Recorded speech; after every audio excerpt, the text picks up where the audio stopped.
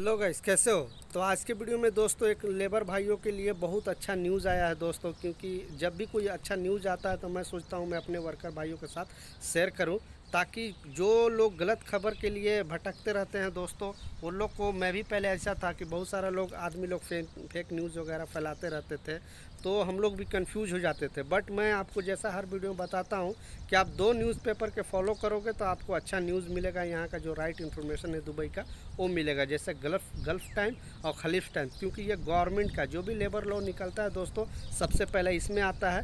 तो यही सब लोग पढ़कर आपको न्यूज़ में थोड़ा बढ़ा चढ़ा बोलते हैं।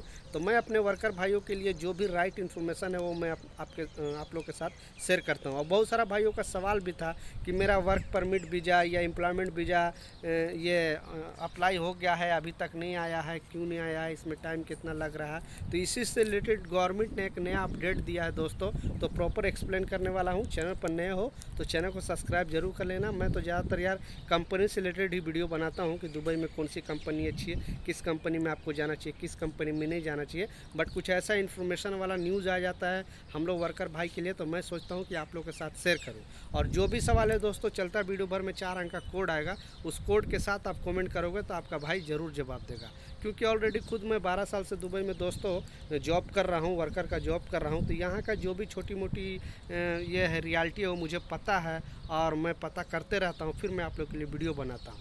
तो ये जो अपडेट आया है दोस्तों, ये पहले क्या होता था कि कोई भी कंपनी या फिर गवर्नमेंट के पास, जो वर्क परमिट अप्लाई होता था, जो कंपनी अप्लाई करती थी एम्प्लॉयमेंट वीज़ा वो बहुत टाइम लगता था। पंद्रह दिन, बीस दिन एक एक महीना टाइम चला जाता था। बट अभी दो दिन पहले एक इन्फॉर्मेशन न्यूज़ आया दोस्तों, कि अब ये मिनिमम तीन दिन के अंदर कैसे भी, अगर आपका कंपनी आपका वीज़ा अप्लाई कर दिया है एम्प्लॉयमेंट वीज़ा तो तीन दिन के अंदर आप ये वीज़ा यूसू हो जाएगा।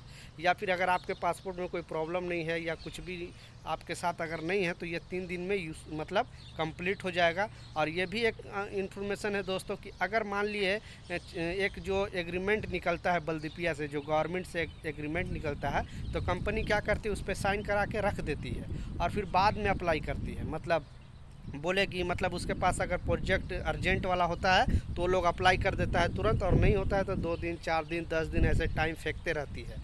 तो उस पर पहले टाइम नहीं होता था कहाँ इस दिन मतलब जब साइन किए मान लिया आज निकला तो दो दिन के, दो दिन के अंदर अप्लाई करना ही करना है, नहीं तो फिर वो रिजेक्ट हो जाएगा और फिर से अप्लाई नहीं हो सकता है। इसीलिए अब क्या हो गया है दोस्तों कि वो चीज़ है ना उस पर डेट रहेगा। मान लिया आज निकला है तो दो दिन का टाइम होगा, दो दिन के अंदर वो चीज़ अप्लाई करना ही करना है। तो ये बहुत अच्छा न्यूज़ आया है दोस्तों, जो टाइम लगता था हम लोग को वर्क परमिट के लिए या एम्प्लॉयमेंट वीज़ा के लिए तो हम लोग के लिए बहुत अच्छा है क्योंकि जल्दी से हो जाएगा, क्योंकि टेंशन लगा रहता था कि कंपनी अप्लाई किया है कि नहीं और क्यों नहीं मतलब निकल रहा है। तो ये सब जो गवर्नमेंट ने बहुत तरह का कोरोना काल में लेट हुआ है तो सोचा कि मैं मतलब वो लोग सोचा कि ये चीज़ को दूर किया जाए तो ये अपडेट था दोस्तों। तो कुछ ऐसा ही अपडेट वाला वीडियो मैं बनाते रहता हूँ दोस्तों और चाहते हो कि ऐसा ही अपडेट वाला वीडियो बनता रहे तो नीचे कमेंट में यह ज़रूर लिखना अगर दुबई से आप वीडियो देख रहे हो तो, तो नेक्स्ट वीडियो मिलता हूँ दोस्तों जब तक गुड बाय।